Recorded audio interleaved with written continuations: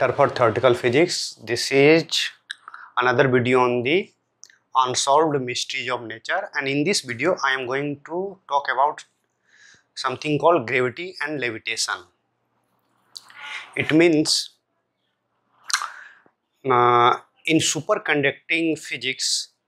this phenomena called Meissner effect is well, well known where if we cool down a superconductor below certain critical temperature it will acquire ability, acquire ability to float or levitate in presence of magnetic field like this one or it it will acquire to expel the magnetic lines. This is called Meissner effect and this is uh, and uh, working of maglev train based on this effect called Meissner effect the question is whether we can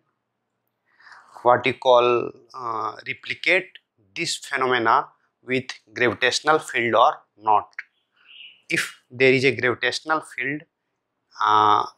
if there is a gravitational field whether we can generate Meissner like effect in any object so that it can float in presence of gravitational field. So what will be the mechanism to generate Meissner like effect in any object uh, in any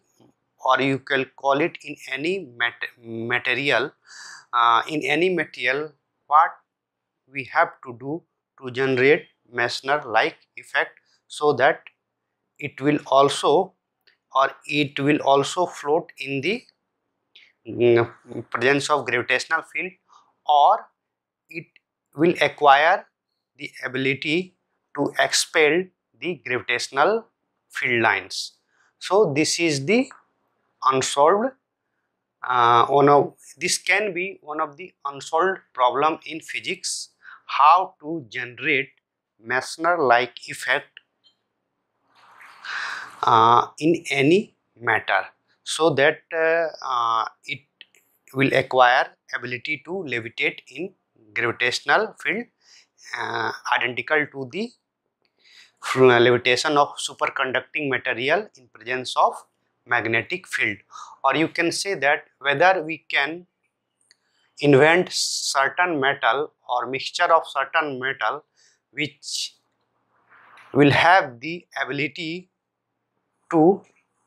float in presence of gravitational field whether it is possible or not so this is gravity, gravity, and levitation. And um,